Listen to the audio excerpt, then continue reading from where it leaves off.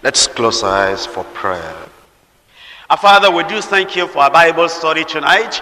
Thank you for the joy of coming before you as your children and listening to your word and hearing the Spirit of God that inspired the Holy Scriptures, speaking to us directly in our hearts. We pray, Lord, that the teaching will come tonight with illumination and enlightenment in Jesus' name.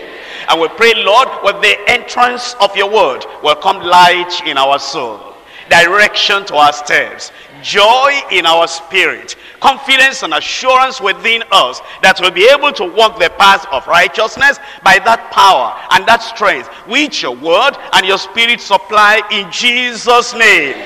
We pray, Lord, that after studying all this series of studies, as we go from chapter to chapter and from verse to verse, we pray that none of us will remain weak in Jesus' name, but you'll give us strength and in that strength, we'll be able to stand and walk in the perfect will of God in Jesus' name. Thank you, Lord, for today. Thank you for the study we're going to have. Give us more confidence, steadfastness, assurance on the authority of your word. In Jesus' mighty name we pray. We're looking at Second Peter. We started the epistle to uh, the general epistle of Peter, the second epistle, a few weeks ago now. And now we're in chapter 1, verses 19 to 21. Tonight we're talking about the scriptures. And the scripture is the more sure word of prophecy. Actually, uh, those words you'll find exactly in verse 19, where it says, 2 Peter chapter 1, verse 19, we have also a more sure word of prophecy. That's referring to the scriptures. It's referring to the whole Bible. By the way, when Peter said we have a more sure word, it's making comparison. It's saying this is number one. This is number two. This number two is more sure word or prophecy than number one. What's referring to as number one? You go back to verse 16. For we have not followed cunningly devised fables when we made known unto you the power and the coming of our Lord Jesus Christ, but we were eyewitnesses of his majesty. For he received from God the Father honor and glory when there came such a voice from him to him from the excellent glory. This is my beloved son in whom I am well pleased. This voice which came from heaven we heard when we were with him in the holy mount. That's exactly what he was referring to as the very first thing that gives us the assurance of the certainty of the coming of the Lord. He speaks about the power of Christ and the coming of Christ. And he said, we're very sure that we have not followed cunningly devised fables. He was recalling and he was testifying about his experience on the Mount of Transfiguration. He was one of those eyewitnesses of Christ's glory. Christ's honor, Christ's majesty on that mount of transfiguration. He also heard, along with the other two disciples, the voice of God coming from the excellent glory. That is, coming from heaven saying, This is my beloved son in whom I am well pleased. Now he testified that this voice, which came from heaven, that they all had it when they were with him in that holy mount. It was a memorable experience which assured him that these apostles and the church of the living God were not following some lies and deception and error and false doctrine, cunningly devised fables.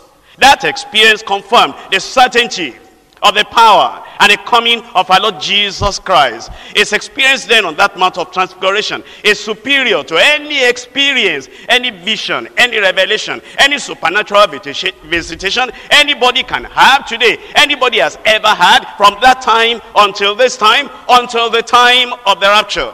And he said, we're very sure of the coming of the Lord because actually we saw it. Because they have told us that you will not see death, some of you standing here, until you see the Son of Man coming in his glory. And then he revealed that to them on the mount. Then he says something now. He said, even that experience of the transfiguration, even the voice we had there, even the certainty that that thing created when we saw and when we heard do you know there is still something greater? He was saying, he was saying then, beyond that experience on the Mount of Transfiguration, we have a more sure word of prophecy. Actually, when he said that, he was referring to the entire Old Testament. When he says, word of prophecy, obviously he was referring to the Old Testament, the minor prophets, and the major prophets. When you think about the writings of Isaiah, and the writings of Jeremiah, and the writings of um, Ezekiel, and the writings of Daniel, and Hosea, and Joel, and Jonah, and Nahum, all through to Malachi, you know we are talking about the word of prophecy. But you know that as we look at other parts of the Bible, Moses was referred to as a prophet. David was referred to as a prophet. And the other writers of the Old Testament, they were referred to as prophets. So it combines then the whole of the Old Testament from Genesis all through to Malachi. And it's saying all those revelations you have, all those writings you have, all those scriptures you have in the Old Testament, that is the most sure word of prophecy. And then it goes on in that verse 19, for we have also a most sure word of prophecy, whereunto ye do well that ye take heed as unto a light that shineth in a dark place, unto the day dawn, and the day and the day star arise in your hearts, knowing this first, that no prophecy of scripture is of any private interpretation. For the prophecy came not in old time by the will of man. It's telling us that all those things we have read about in the Old Testament, from the very beginning unto the very end of the Old Testament, that they didn't come by the will of man, but holy men of God spoke as they were moved by the Holy Ghost. It tells us then, it's talking about the Old Testament. And as you think about the New Testament, you'll understand that the New Testament is as inspired as the Old Testament. How do we know that? Because we're told in John chapter 14, verse 26, John 14, 26, but the Comforter, which is the Holy Ghost, whom the Father will send in my name. He shall teach you all things and bring all things to your remembrance whatsoever I have said unto you. Everything is said, all those things recorded in Matthew, Mark, Luke, and John. The Holy Spirit revealed unto them and reminded them all the things that he said. That's how we know that those historical parts of the gospel, they are inspired. But then it also says that Holy Ghost shall teach you all things that comes now with the acts and also with the epistles all through revelation that means then both the historical part and the gospel account and the church account in acts of the apostles and all the all the epistles inspired of the holy ghost which means then if we say the old testament is inspired and the new testament is inspired the combination of both that's the entire bible. It means then that the holy bible in its entirety the Old Testament and the New Testament, the Holy Scriptures in short, that's the most sure word of prophecy, spoken and written by holy men of God, moved by the Holy Ghost, and it's more authoritative than any experience coming from anyone. Think about it. If the Holy Scriptures are weightier, are more solid, are more dependable than the vision on the Mount of Transfiguration, and the vision on the Mount of Transfiguration is more solid, is more trustworthy, is more dependable than any dream, any vision, any revelation, any encounter, any divine visitation today. It means then the word of God is more important, is more trustworthy, is more dependable than any revelation that anybody is claiming today. That's the reason it's very important for you and for me as we look at the word of God together today to understand that these scriptures, they form they constitute the more sure word of prophecy. In John chapter 16, verse 13, Howbeit, when the Spirit of truth has come, he will guide you into all truth. For he shall not speak of himself, but whatsoever he shall hear, that shall he speak, and he will show you things to come. Which means then, as you look at all this, you see that the Old Testament is referred to as the Scriptures, and even the New Testament is referred to as the Scriptures. In 2 Peter chapter 3, 2 Peter chapter 3, verse 16. Here is Peter writing, And it's going to comment now, not, not on the Old Testament anymore. It's going to comment on the writings of Paul the Apostle. Let's see the weight and the value he gives to the writings of Paul the Apostle. It says in 2 Peter chapter 3 verse 16, as also in all his epistles, talking about the epistles of Paul. If you go back to verse 15, let's go back to verse 15. And accounts that the long suffering of our Lord is salvation, even as our beloved brother Paul, also according to the wisdom given unto him, as written unto you, as also in all his epistles, speaking in them. Of these things, in the which are, are some things had to be understood, which they that are unlearned and unstable wrest twist, distort, as they do also all the scriptures unto their own destruction. So then you see that it was referring to the writings of Paul the Apostle as other scriptures. As scriptures, and then all the other writings of the New Testament as other scriptures. Everything then forms the scriptures. And this is the most sure word of prophecy. As we look at this study tonight, we're looking at three points. Number one, dependence on the practical illumination of the scripture. Dependence on the practical illumination of the scripture. What do we say? The practical illumination of the scripture. Look at verse 19. It says, we have also a most sure word of prophecy, whereunto ye do well, that ye take heed as unto a light illumination illumination a light that shineth in a dark place until the day dawn until the day star rise in your hearts point number two the danger of private interpretation of scripture. The danger of private interpretation of scripture. You look at verse 20. Knowing this first, that no prophecy of the scripture is of any private interpretation. Whenever anybody gets into uh, privately interpreting the word of God, giving some private, secret meaning to the word of God, he gets into spiritual danger. And he gets, he gets into a lot of danger and there's enormous responsibility on anybody that, you know, tries to take the word of God and he makes a private, secret, personal interpretation that contradicts every other part of scripture. Point number three, doctrine, the doctrine of plenary inspiration of the scripture. Plenary, you know, just means, you know, the, the fullness of scripture. Everything, totality of the scripture is given by the inspiration of God. And this is the doctrine of the plenary inspiration. Every believer ought to understand that the Bible you carry in your hand is not an ordinary book. It's inspired of God.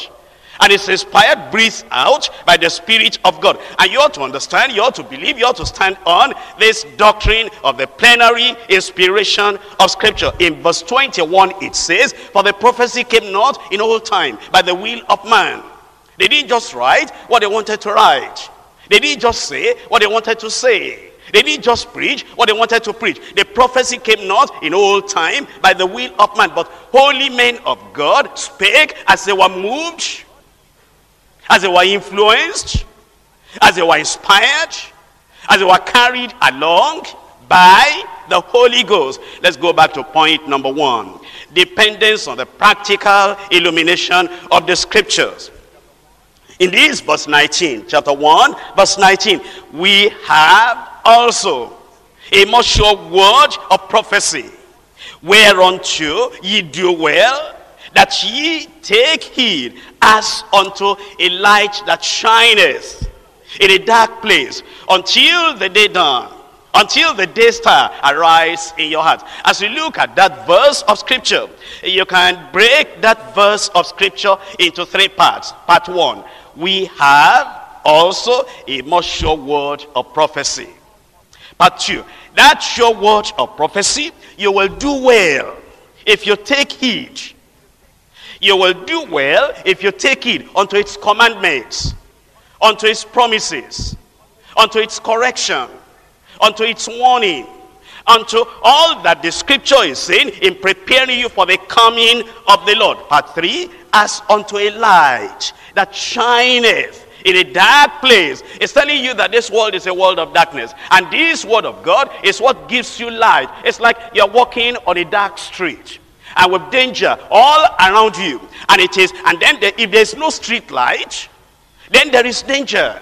But it says if the street light comes on, light comes on, you're able to walk safe and you're able to avoid any danger, any disruption of your path, in your path. That's why it's saying, number one, this is the word, more sure word of prophecy. Number two, you take heed to everything you read, everything you hear, everything you learn, everything you study in the word of God, part three of that verse, because it's the light that is shining in a dark place and it will keep on shining until the day dawn until the day star rise in your heart. That means until the light of the world will come from the sky and the day star will appear. The lord jesus christ himself and will be with him forever and ever. Let's look at that dependence on the practical illumination of the scripture. In ezekiel chapter 25 uh, ezekiel chapter 12 rather. Ezekiel chapter 12 verse 25 Remember the parts of that, of that verse we're talking about. Remember that this is the more sure word of prophecy. Ezekiel 12 verse 25. For I am the Lord. I will speak. And the word that I shall speak shall come to pass. It shall no more be prolonged. For in your days, so rebellious house, will I say the word and will perform it, says the Lord God. Do you understand then why Peter was saying this is a more sure word of prophecy? It cannot fail. Because Almighty God, when he gave the word, he said, I have given the word, when I speak, that word that I speak shall come to pass. Therefore you can trust it. You can depend upon it. You can rely on it. Because it's a more sure word of prophecy. Actually, when Jesus came into this world and he began to teach the people, he brought up, that he built up a confidence of the people on the word of God. As you look at the writings of the New Testament and you look at the things that Jesus taught and the things that Jesus said, there is something you are going to discover that Jesus Christ built up, built up confidence in the word of God. You know, it's not like many preachers today that will be preaching and will be casting doubts in the minds of people concerning this verse, concerning this section of the Bible, concerning this promise of the Bible, concerning this commandment of the Bible. Jesus Christ built up confidence in the word of God. In Matthew chapter 5 verse 18. Matthew chapter 5 verse 18. For verily I say unto you, till heaven and earth pass, one jot or tittle, the smallest part the smallest sentence, the smallest word of that scripture, not one jot or tittle shall pass from the law till all be fulfilled. No wonder Peter said, we have also a more sure word of prophecy.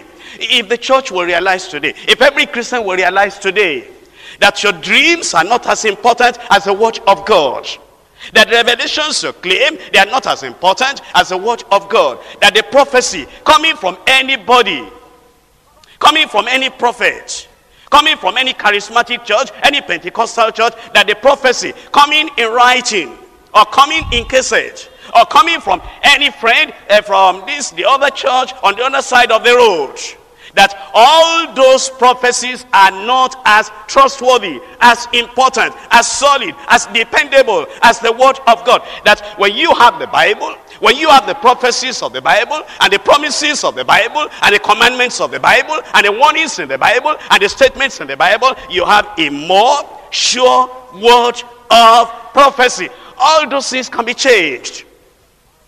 Your dreams may depend on many, many factors, many, many things in your life and in your surrounding. And the visions that people receive may depend on many, many things. But this one is built on this solid ground the word of God. And the Bible stands, and it still stands today. And that's why you should cast away all your fears concerning that dream and concerning that prophecy because we have a more sure word of prophecy, and that's what you find in the Bible. In Luke chapter 21, Luke chapter 21, reading verse 33. Luke 21, 33. Heaven and earth shall pass away but my words shall not pass away. And you realize that if you woke up in the morning and then you look up and there's no sky, it surprises you Because in your mind, you know the stability and the steadfastness of the sun and the moon and the sky and the sky and the stars and the earth and the sea and the ocean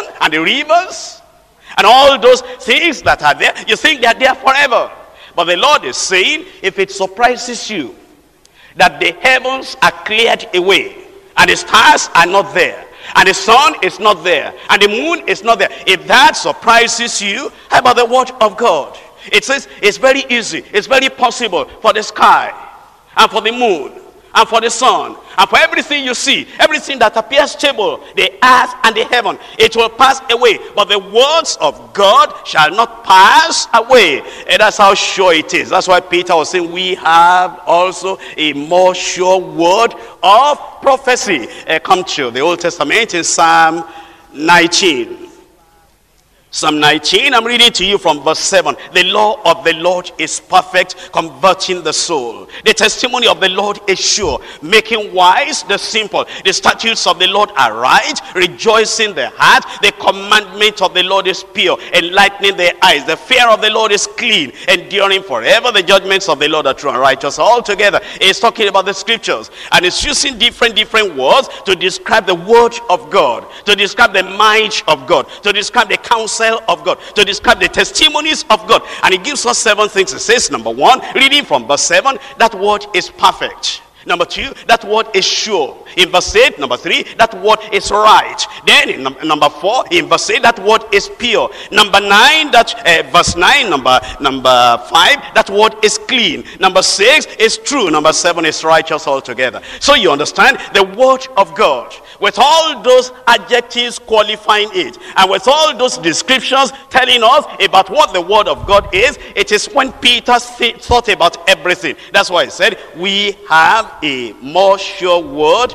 of prophecy. Come to Psalm 119. Psalm 119. In Psalm 119, I'm reading to you from verse 89. 119 verse 89 forever o lord thy word is settled in heaven your dreams are not forever settled in heaven. Your visions are not forever settled in heaven. Your revelations are not forever settled in heaven. All those experiences you are talking about and it's bringing fear in your heart that you are saying, well, I had this dream, I had this visitation, I had this experience. All those things are not forever settled in heaven. There is something that is more sure word of prophecy. All these people that are rising up, you know, in this new church and this new assembly, revelations are going on there, and people may be rushing here, rushing there. I want to go and hear my own prophecy and my own revelation. All those things are chaff. And the wind of time and the wind of circumstances will blow them away. There is something that the wind of time and the wind of circumstances will never blow away. That is the word of God. That's why Peter the apostle is calling us back to the word and he says, see, all these things you are running about and you are running after, everything will vanish away. And the wind of time and the wind of circumstances will blow them away. There is something that is more sure than any of those things, and it is the word of God. That's why it says in verse 89, Forever, O Lord, thy word is settled in heaven. Verse 90, thy, faithfulness is unto all generations. Thou hast established the earth, and it abideth. They continue, verse 91, this day, according to thy ordinances, for all are thy servants. And then he tells us in verse 105, Thy word is a lamp unto my feet and a light unto my path. Isn't that the reason why Peter was saying that you do well when you take heed unto this sure word of prophecy because it has the light that shineth in a dark place until the day dawn and until the day star appear in your heart. It says over here in verse 105, thy word is a lamp unto my feet. And then it says, a light unto my path. In verse 130, that is 130, it says, the entrance of thy words giveth light. It giveth understanding unto the simple. The entrance of your word. When there is confusion in your heart, when there is darkness in your heart, when the clouds are hanging low, you go back to this sure word of prophecy. Your circumstances are not sure. And your situations are not sure And all the things around you, they are not sure. The wind that blows and the, and the storm that comes, all those things are not sure. When all these confusing things happen in your life, there is a place you can go back to that you'll be able to stand firm. And the rain will fall, and the wind will blow, and the storm will come, and the sea will rage. And yet, when you are standing upon this word that is settled forever in heaven, as sure as the word is, so your stand will also be sure. That's why it says, the entrance of your words, they give light, and it giveth understanding unto the simple. Uh, verse 138. 138, it says, thy testimonies that thou hast commanded are righteous and very faithful. And then in verse 142, it says, Thy righteousness is an everlasting righteousness. Thy law is the truth. Thy law, the law of God, the word of God, it is the truth. All your feelings and all your ideas and all your opinions and all your psychology and all your philosophy and all the thoughts of your heart, all those things are not stable. They're shifting sand. And the wind will blow them away. There is something that is stable. There is something that is steadfast. There is something that is solid. There is something that will never, never be affected by anything happening in this world. That thing is this more sure word of prophecy, the word of God. That's why it says here, thy word is the truth. And then it tells us in verse 144 that the righteousness of thy testimonies is everlasting the dependability, the trustworthiness of your testimonies, of your truth, of your word is for everlasting.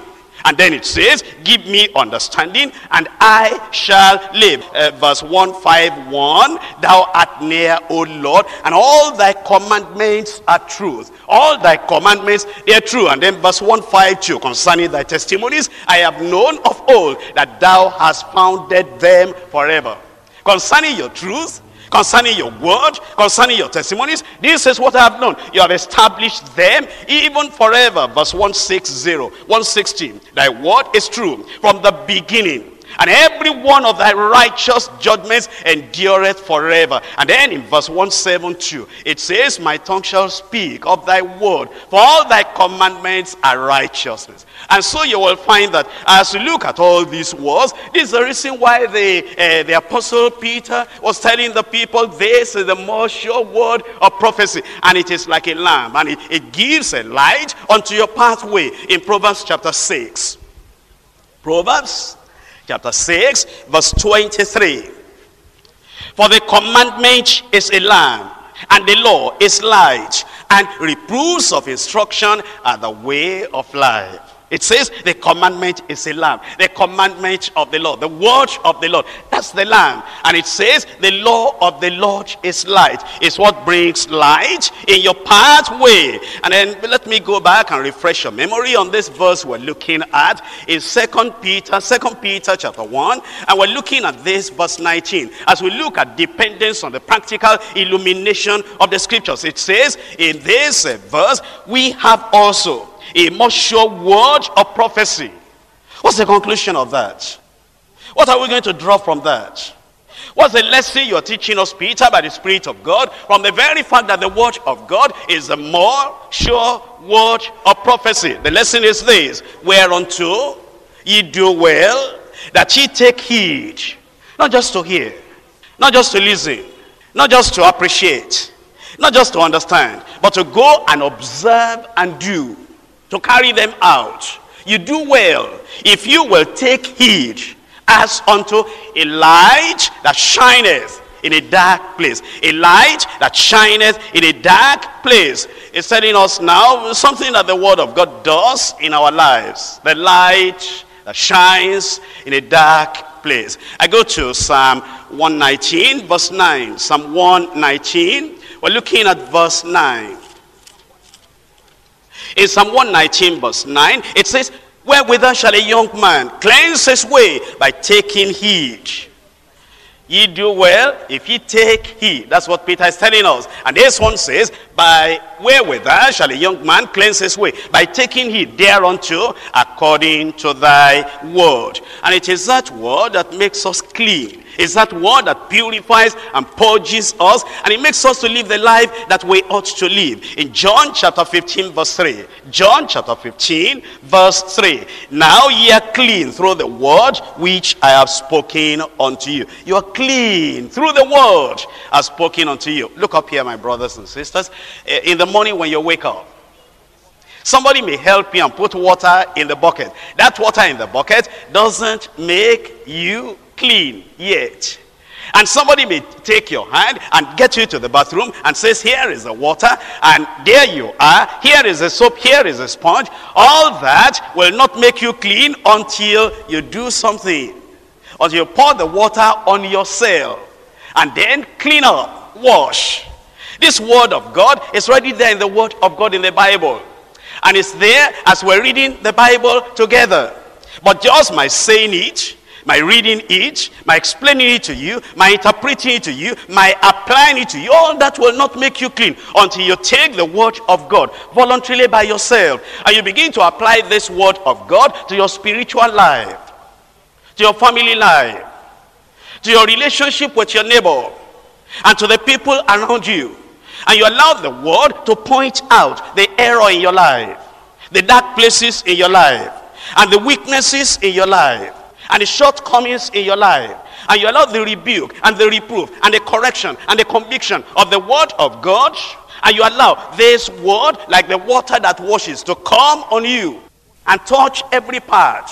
And you allow the sponge of the rebuke, the sponge of correction, and the sponge of conviction, and the sponge of warning, and the sponge of pointing the accusing finger to you. You allow the sponge of the word as well to clean you up.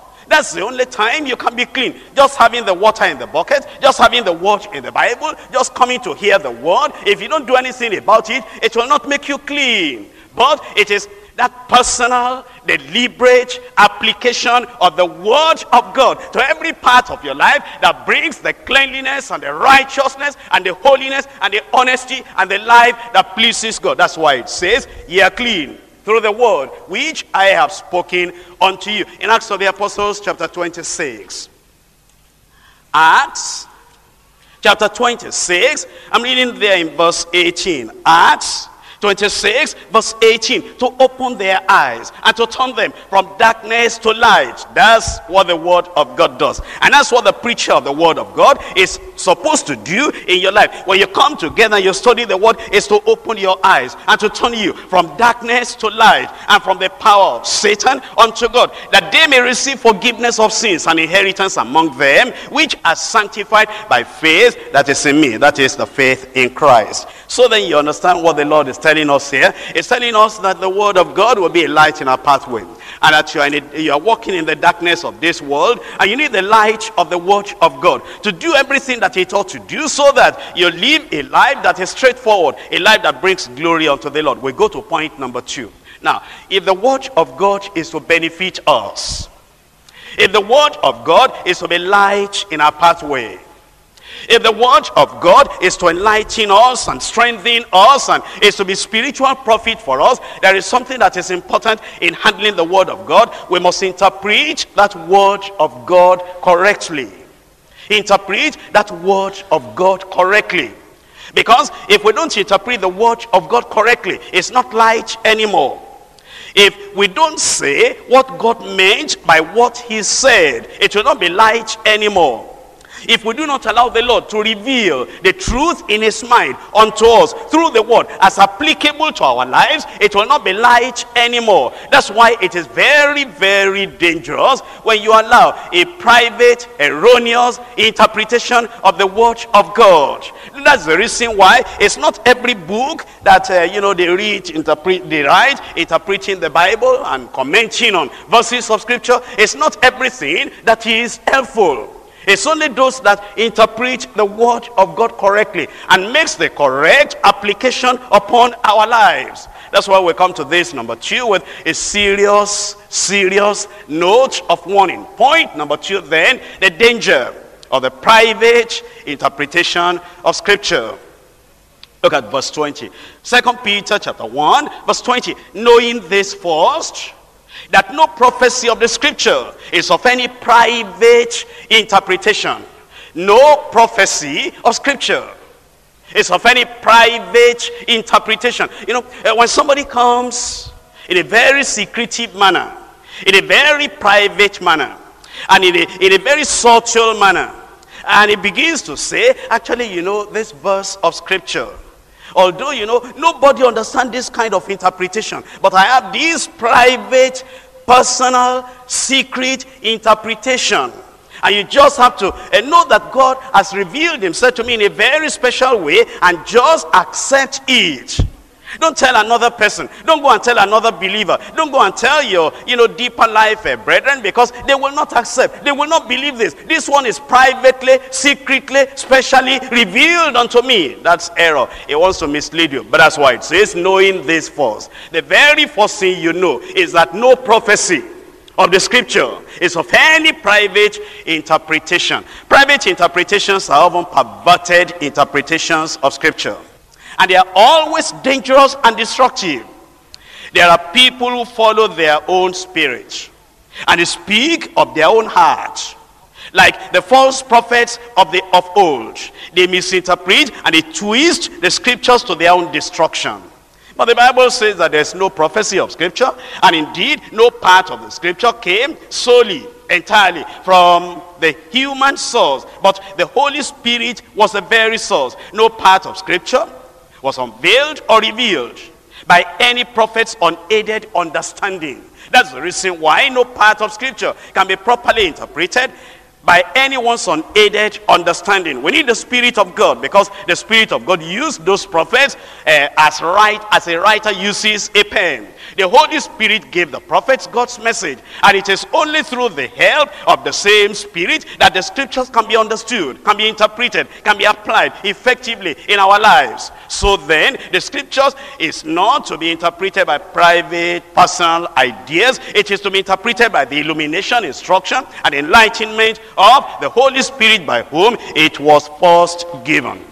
Please understand then that if you are the one having the private interpretation, if you don't want to destroy your life, throw those things away because they're not going to help you. In um, 2 Peter chapter 3. 2 Peter chapter 3, verse 16. As also in all his epistles, speaking in them of these things, in which are some things hard to be understood, which they that are unlearned and unstable wrest. They that are unlearned and unstable, they wrest, they twist. It's like, you know, when you wash clothes and it has a lot of water. Then you take that uh, clothes, then you fold it together, and then you twist it. When you twist it like that, then you understand that, you know, the water will go out. And there are these people that will take the scriptures and they wrest it and they twist it and they distort it and all the water, all the nutrients, everything that should help us and cleanse us, everything is gone. These people, they twist and they wrest and they distort the scripture. They misinterpret the scripture as they, and they, as they do also other scriptures to their own destruction in Matthew chapter 4. Uh, look at this, how serious this is. Matthew chapter 4, even the devil, he also tried to, you know, quote the Bible. There are many people that quote the Bible. Backsliders quote the Bible. Sinners quote the Bible.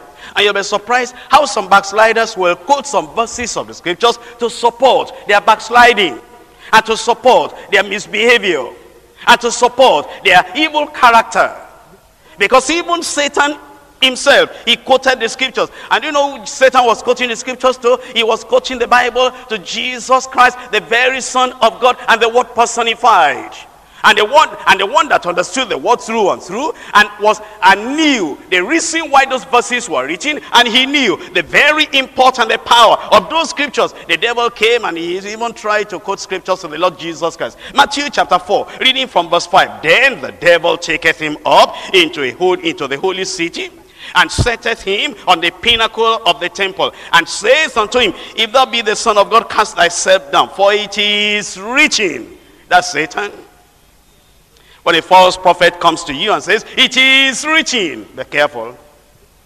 When a backslider comes to you and, you know, you are saying, ah, you are backsliding. This thing that you are doing, look at the way you are talking. Look at the way you are acting. And then the backslider says, it is written. That's the devil speaking inside him.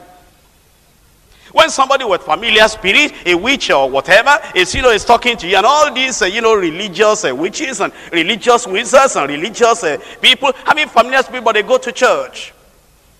And anything they hear, the devil inside them will twist that thing, will twist that thing. And then when you are talking to them to help them, to counsel them, to advise them, and to put them right, and to take them away from their wrong, erroneous sin into the path of righteousness. This backsliding fellow, influenced by the doctrines of devils, doctrines of demons, will quote to you, it is written. Be very careful. And so you find out, you find out in this verse 6, it says unto him, Satan says unto Jesus, If thou be the Son of God, cast thyself down, for it is written, He shall give his angels charge concerning thee. And in their hands they shall bear thee up, lest at any time thou dash thy foot against a stone. Jesus saith unto him, It is written again. You will be able to understand that the word of God is not to make you tempt God, it's not to make you do some foolish things and hurt yourself. It's not to put you in the place of temptation, in the place of danger, in the place of destruction. And so Jesus said in verse 7, it is written again, thou shalt not tempt the Lord thy God. When those people come and they twist the scriptures and they wrest the scriptures and they misinterpret the scriptures to you, you better get ready and find a scripture that tells you how a child of God ought to live. And you'll be able to tell them, it is written in Second Corinthians chapter 2. Second Corinthians chapter 2, reading there in verse 17. Second Corinthians chapter 2, verse 17. For we are not as many which corrupt the word of God. Many. They corrupt the word of God. But as of sincerity, but as of God, in the sight of God, we speak in Christ. Paul the apostle said, we have nothing to gain by corrupting the word of God misinterpreting the word of God, misapplying the word of God. Somebody has to be unthinking, senseless, not thinking about eternity. Somebody has to be very, very disrespectful of the Almighty God, not conscious of the power of God, not having any honor, any respect for the Almighty God, to take the word of the Almighty God and twist it. And he knows God is there. Because God is everywhere, somebody has to be completely senseless. To be able to stand in the very presence of God and then take the word of the Almighty God and twist it and misinterpret it to corrupt and to destroy another individual. That's why Paul the apostle said, we are not senseless. We're not unthinking. We're not foolish. We're, we're not so dumb.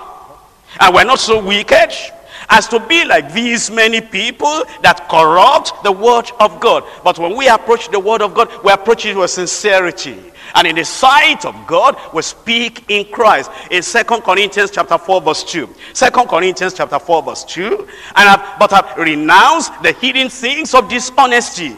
We renounced all that all the dishonesty in approaching the word of God. The dishonesty in taking the word of God, in taking a verse of the scripture and twisting it and misinterpreting to mislead other people. We have forsaken, we have renounced, we have rejected, we have turned away, we have repented from the hidden things of dishonesty, not walking in craftiness, never and not handling the word of God deceitfully, never, but by the manifestation of the truth, commending ourselves to every man's conscience in the sight of God. Uh, there were people in the Old Testament, they were walking right before, they were preaching right before, they were interpreting right before, but the time came in their lives, maybe because of looking for money, maybe because of wanting to be popular, maybe because of wanting to, uh, you know, be a good person before the people. They were interpreting the word of God in the right way before, but then later they changed and they started corrupting the word of God. And they became somebody dangerous to the people of God in Malachi chapter 2. Malachi chapter 2 verse 6. The law of truth was in his mouth. And iniquity was not found in his lips. He walked, all this is past tense, he walked with me in peace and equity and did turn many away from iniquity.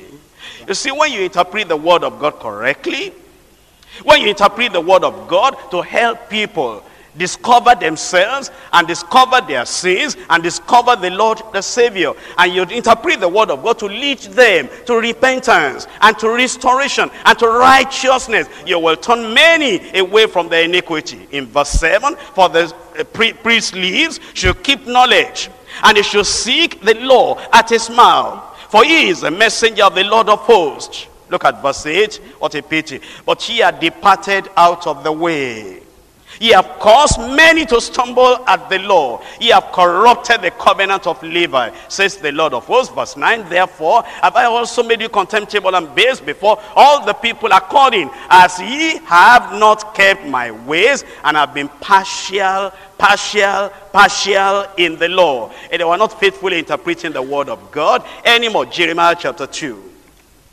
Jeremiah chapter 2, verse 7 and verse 8. Jeremiah chapter 2, verse 7. And I brought you into a plentiful country to eat the fruit thereof and the goodness thereof. But when ye entered, ye defiled my land and made mine heritage an abomination. The priests said not, Where is the Lord? And they that handle the law knew me not. When somebody trying to preach is not born again, when somebody trying to establish a new, a new ministry is not sanctified, not holy. When somebody trying to establish a new ministry, a new church, a new assembly, a new congregation is covetous. When somebody saying, God has revealed to me, I'm going to start my own church, he doesn't have understanding of the fullness of the whole Bible. When somebody, oh, you, you know, just because he knows he must be born again, because he knows a few, a few verses of the scripture, he doesn't understand the word of God applicable to every area of his life, applicable to the marital life, applicable to even the lives of the people in the church. He just, you know, rises up. I had a vision, I had a revelation. God has shown me I should leave the church and go and start my own ministry. And when you interview him and you talk to him on the various verses of the Bible, on some difficult parts of the Bible, he knows next to nothing. All he wants is just to gather some people together, have a congregation, and call it by a particular name so that he can be the general overseer, the national overseer, the international evangelist over this church. And it's a pride of life. And it's covetousness. And it's because of looking for money. And it's because of being incorrigible. And it's because he doesn't want to stay under teaching, under uh, somebody that can teach him and guide him and direct him in the way of the Lord. And then they mislead people and destroy many lives.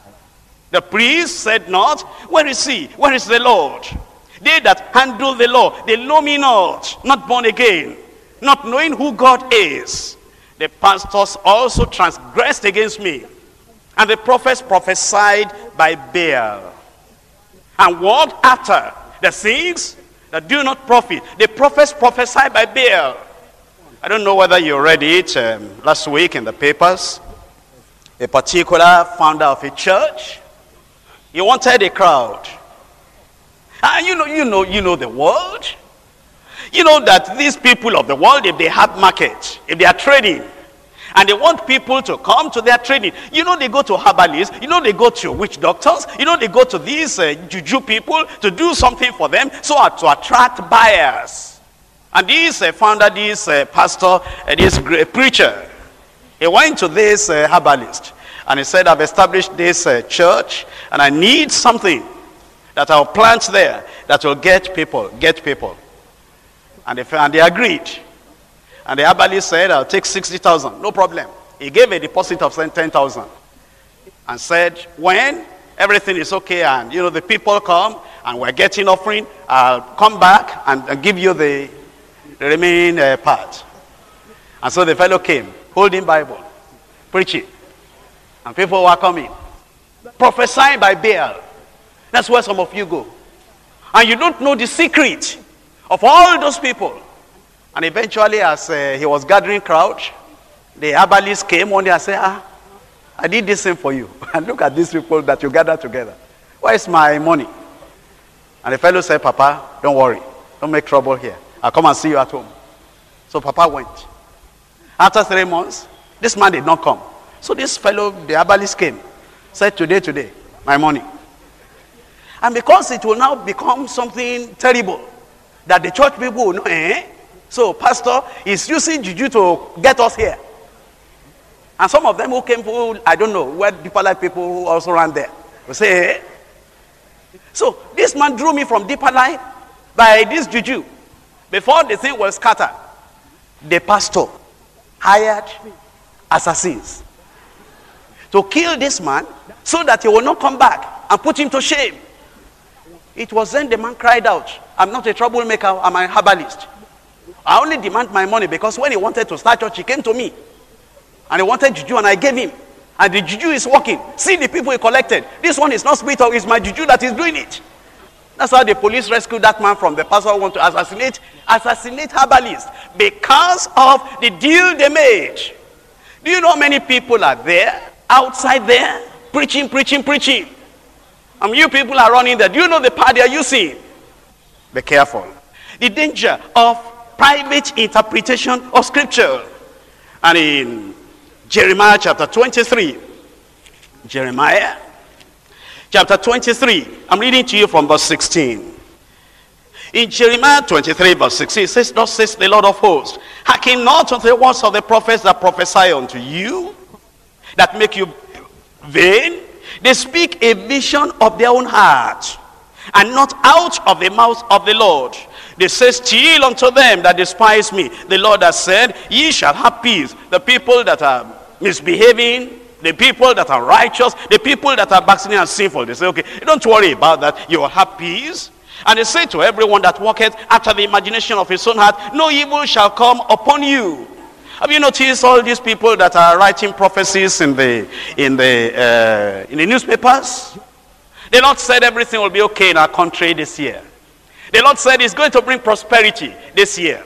The Lord said he's going to create jobs for everybody this year. And everybody will be running there, will be running there. Holy Ghost is speaking. Holy Ghost is speaking.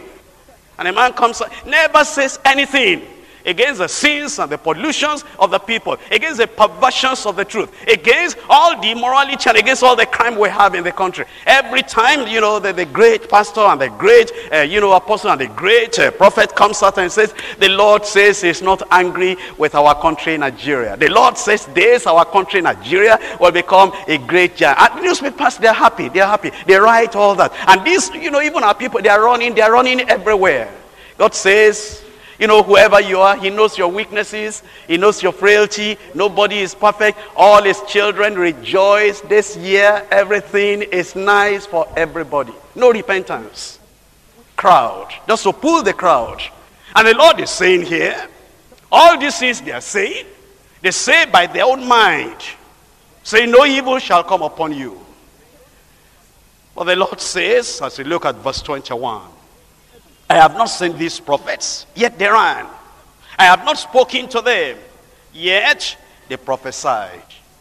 So those are the people many are running to. And these are the last days, and it's one of the signs of the last days. In 1 Timothy chapter 4, 1 Timothy chapter 4, reading from verse 1.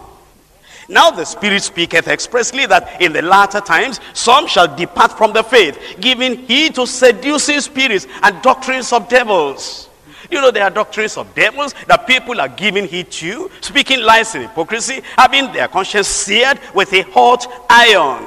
Tells us now in Romans chapter 16, telling you your duty, telling me my duty. And this is what you are to do. Romans chapter 16, verse 17.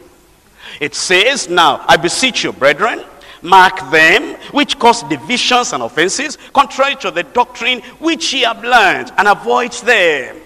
Avoid them.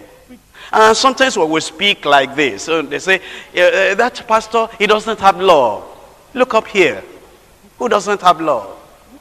Somebody who sees danger ahead of you and he says, there's danger ahead, turn back. Oh, he has law. You're going on a particular road, and then there are, you know, wicked people ahead, and they're going to sniff uh, life out of you, and they're going to take all your possession, and they're going to blindfold you and deceive you and take everything, and even make you to divorce your wife, and make you to scatter your family. And somebody stands there, and he says, this road you are walking, those wicked people on that side, turn back and go this other way. That's the man that has love. When I stand here, and I warn you, against the people that will misinterpret the word of God and brainwash you and deceive you and take the confidence you have in the word of God, take it away from you. and take the love you have in your family, take it away from you. When I warn you that these people who are, the only prophecy they know is to tell that your wife is a witch. And the reason you don't have children is because your wife is uh, having familiar spirit. And I say these people are deceiving you. That your problem is biological. And there's no problem God cannot solve. You have married, you have married. Love your wife, love your husband, love your children. And you then, you resist me. And you go to the people that will be brainwashing you, telling you prophecies that your wife is a witch, your husband is a wizard, is the one that didn't allow you to have work. And we're telling you this is dangerous. Come out from among them. We are the people that love you. That's why it's saying, now I beseech you, brethren, mark them which cause divisions and offenses contrary to the doctrine which ye learn and avoid them. Because they are such they that are such, they serve not our Lord Jesus Christ, but their own belly.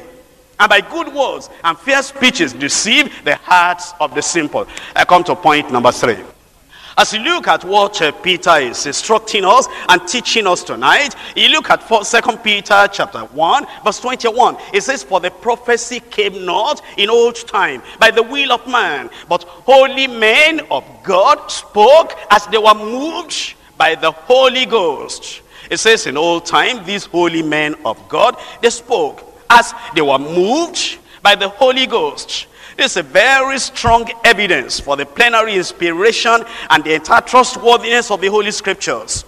Supernatural influence was brought to bear upon divinely chosen men to speak and to write the mind and the word of God. These inspired writings, that is the Holy Scriptures, confirmed by Christ. They are completely trustworthy, completely authoritative. The message of the Bible can be believed, can be obeyed with all confidence because this is the word of God. This is not the opinion of man. It says, for the prophecy came not in old time by the will of man. This is referring to all the prophets of the Bible. They received, they revealed, they recorded the scriptures. It came not by the will of man. It was not of human origin. It says, but holy men of God spoke as they were moved by the Holy Ghost. These men first were made holy, holy men of God. They were made suitable channels to transmit the divine truth to mankind. And it says they were moved. That means they were born along. They were carried along. They were influenced by the Holy Ghost. And they spoke and they wrote only by the influence of the spirit of the living God. The scriptures then demand that should, we should give earnest attention. We should give heed because it is a sure guide unto the eternal city of God. The pages of the scriptures as we read, uh, it's the only way of salvation that it reveals. Look at Second Timothy chapter 3. 2 Timothy chapter 3 verses 16 and 17. All scripture, not some, not a part of scripture. All scripture is given by inspiration of God.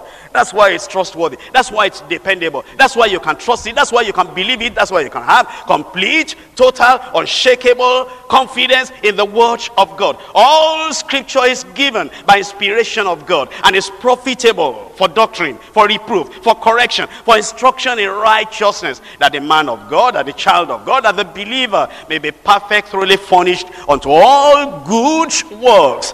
We're told in Hebrews chapter 1, verses 1 and 2. It's still telling us about the very fact that these scriptures were given by the Lord himself by the Spirit of God himself. And what these people wrote now, they wrote now as led by the Spirit of God. God who at sundry times and in diverse manners spake in time past unto our fathers by the prophets, as in these last days spoken unto us by his Son, whom he has appointed heir of all things, by whom also he made the worlds uh, that's the reason why you depend on the scriptures because you know this is the Lord speaking and the Bible is like no other book. In First Peter chapter 1 verse 11 searching what or what manner of time the Spirit of Christ which was in them did signify when he testified beforehand the sufferings of Christ and the glory that should follow. It's telling us that is the Spirit of Christ in them that made them to write all the things they wrote. In fact, as you look at some of the prophets, the Lord even dictated the things he wanted to write. He dictated it unto them. Jeremiah chapter 36, verse 2. Jeremiah chapter 36, verse 2, it says, Take thee a roll of a book and write therein all the words that I have spoken unto thee. You see, it was dictated unto him. And the Lord said, take a roll of a book and begin to write down all those words I have spoken. In Acts chapter 28, Acts chapter 28, verse 25.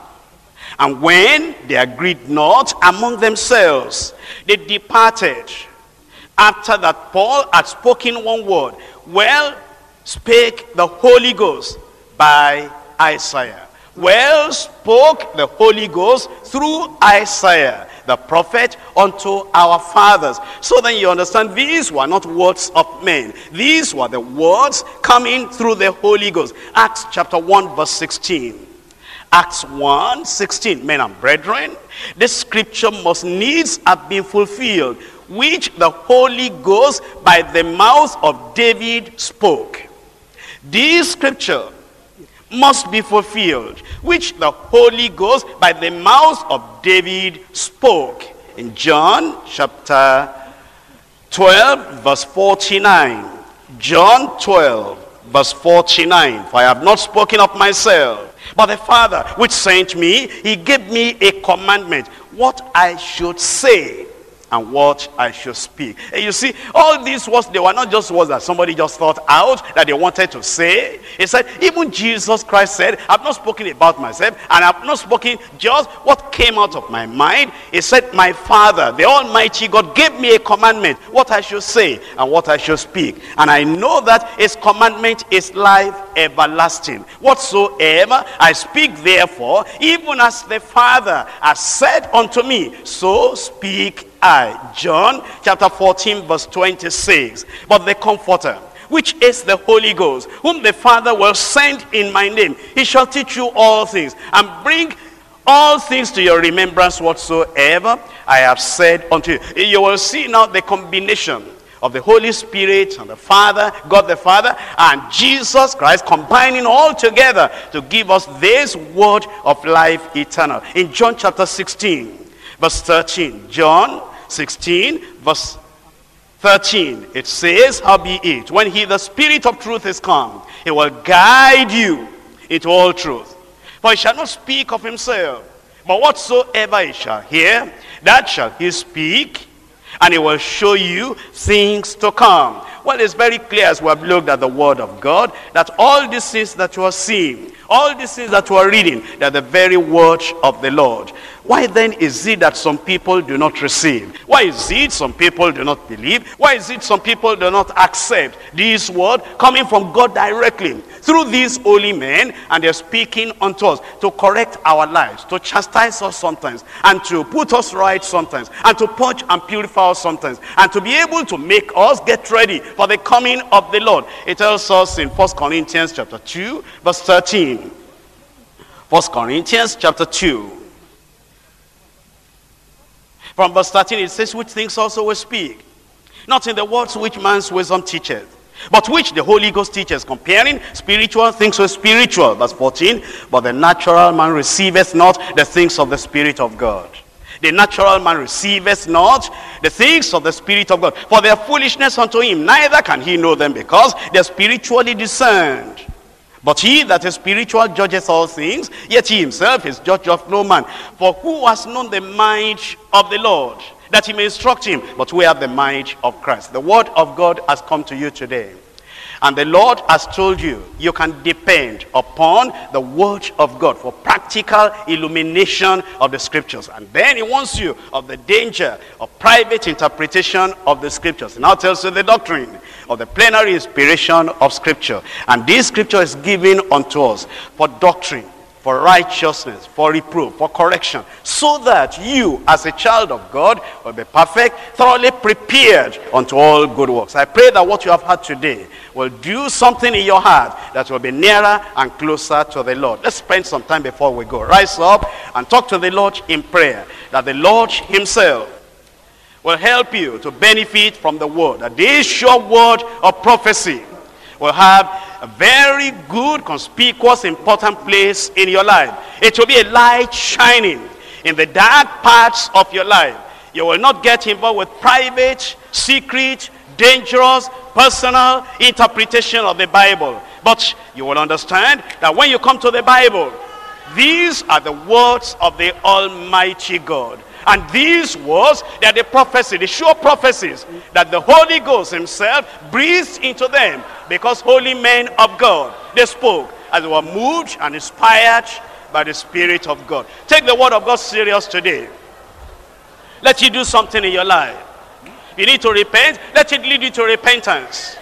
If, there's, if you need restitution, let it lead you to that restitution. If you need restoration, let it lead you to that restoration. Let the word of God do something in your life tonight so you will not be hearing in vain. Let it be light in your pathway. Let it be light in your pathway. In your marriage, in your family, in your work, in your relationship with your neighbors, in your relationship with your wife, in your relationship with your husband. Let this word of God purge you, purify you, do something in your life. Shine as light in the dark areas of your life. Run away from all those false prophets. Run away from all those teachers of false doctrine. Don't allow them to destroy your life. Anchor your soul on this infallible, unchanging word of the eternal God.